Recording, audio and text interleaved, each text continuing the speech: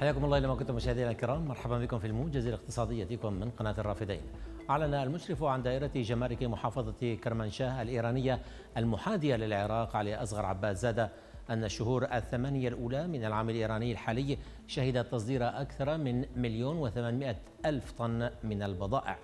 من منفذ برويز خان الحدودي التابع لهذه المحافظة نحو العراق حيث بلغت قيمة هذه البضائع المصدرة نحو 660 مليون دولار. وأضاف المسؤول الإيراني أن منفذ برويز خان إلى العراق سجل زيادة بنسبة 20% من حيث القيمة و34% من حيث الوزن قياسا مع الفترة المماثلة من العام السابق.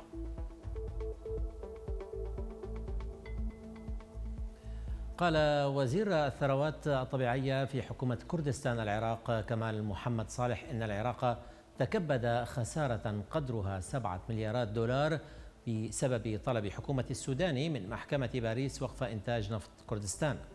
هذا وأضاف الوزير صالح أن حكومة كردستان ليس لديها مشكلة في بيع النفط عبر شركة سومو.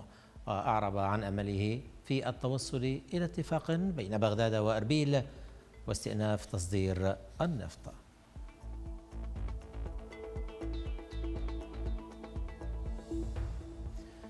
توقعت شبكة سي إن بي سي الأمريكية أن تتجاوز أسعار النفط مستويات 100 دولار للبرميل الواحد في العام المقبل على خلفية التزام أعضاء تحالف أوبك بلس بخفض الإنتاج. وكان التحالف النفطي العالمي أوبك بلس الذي يقود الاستقرار في السوق قد أصدر بيانا لم يؤيد رسميا الاستمرار في تخفيضات الإنتاج لكن الدول الفردية أعلنت عن تخفيضات طوعية يبلغ إجماليها مليونان أو مليونين ومئتي ألف برميل يوميا حتى الرابع أو الربع الأول من عام 2024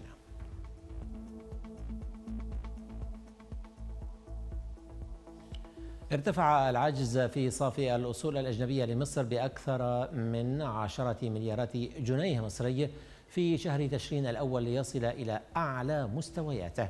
ويمثل صافي الأصول الأجنبية أصول البنك المركزي والبنوك التجارية المستحقة على غير المقيمين مطروحا منها التزاماتهم. وتمت موازنة الزيادة البالغة نحو 30 مليار جنيه.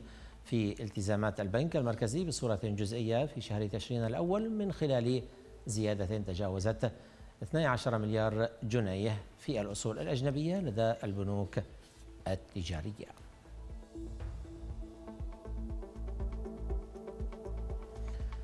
أعلنت وكالة ستاندرد أند بورز للتصنيف الائتماني رفع نظرتها المستقبلية للتصنيف الائتماني لتركيا من مستقرة إلى إيجابية.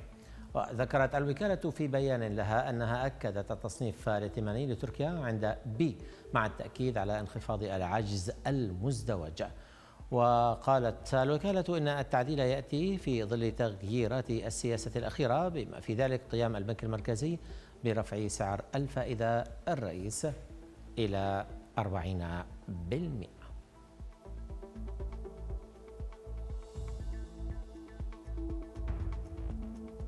والآن هذه انتقالات سريعة مشاهدينا الكرام إلى أسعار صرف العملات الأجنبية وأسعار المعادن.